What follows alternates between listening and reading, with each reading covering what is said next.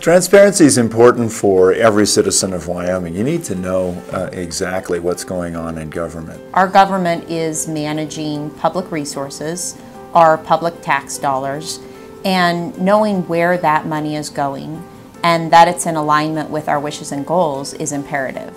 So during my time as treasurer of Wyoming, our office was ranked as the third most transparent, first in the country, but third most in the world.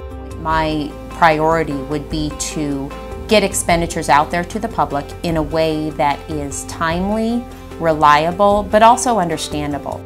I think there's much more to transparency than just looking on a website and finding a number. You have to understand the context and the reasons why and how it fits into the overall picture really give our citizens a better understanding of our government. The way the money flows, our priorities, the way their government works, as it should be, because their government should be working for them.